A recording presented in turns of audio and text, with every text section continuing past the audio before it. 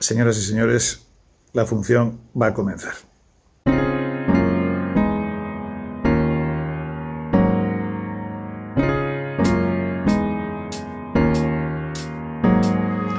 Bueno, pues cuando, cuando empezó esto del estado de alarma, por lo de la pandemia, estábamos rodando una serie que se llama Venidor para Antena 3 en, en Benidorm, precisamente. Y bueno, menos mal que se cortó porque un poquito antes porque si no nos hubiésemos tenido que quedar ahí a, pasar la cuarentena. ¿Y qué va a pasar? Pues hombre, la situación es, muy complicada, sobre todo para, para nuestro sector. ¿Cuándo se van a abrir los teatros y los cines? Y, porque está muy bien, se podrían hacer cosas a lo mejor, los, los protocolos son muy complicados, pero bueno para rodar, por ejemplo, y para actuar en un teatro, pues es que yo lo veo complicadísimo. Pero bueno, vamos a ver qué, vamos a ver qué pasa.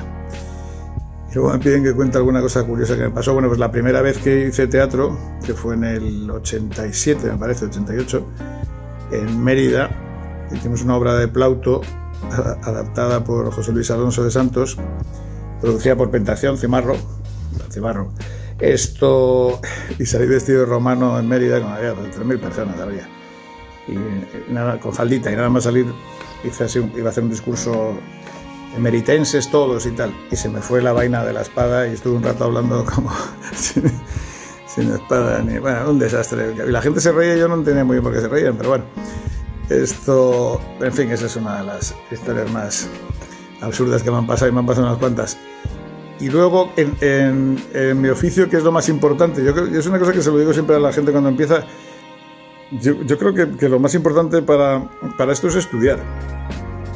Tienes que estudiar todo el día como, como un bárbaro, vamos. Y, lo decía Landa, cuanto pues, primero pones, esto es hacer una casa, pero no por el tejado, sino por abajo, pones el suelo, el cemento y tal, todo es estudiar, estudiar, estudiar. Y cuando te lo sabes muy bien, ya se te olvida de que te lo sabes muy bien y ya, ya empiezas a ser la otra persona, o sea, el personaje.